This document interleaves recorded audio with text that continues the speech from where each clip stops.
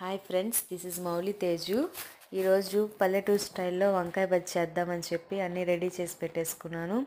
ఇంకా టమోటాలు కట్ చేసి పెట్టుకున్నాను ఆనియన్స్ కరివేపాకు నెక్స్ట్ పచ్చిమిర్చి మామిడికాయ వంకాయ తీసుకున్నాను. వంకాయని ఉప్పు నీళ్ళలో కడుక్కోవాలి. ఇంకా పల్లెటూరులో ఎక్కువగా మట్టి కుండలో చేస్తారని చెప్పి నేను కూడా మట్టి కుండనే తీసుకున్నాను.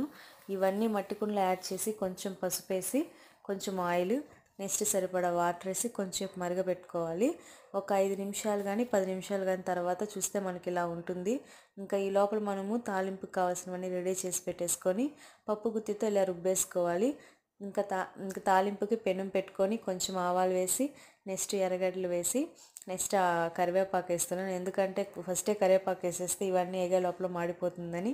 ఇంక ఇవంతా తీసి వంకాయ బజ్జీలు వేసుకుంటే వంకాయ బజ్జీ రెడీ అయిపోతుంది ఫ్రెండ్స్. ఇది మీకు నచ్చినట్టయితే లైక్ చేయండి కామెంట్ చేయండి షేర్ చేయండి.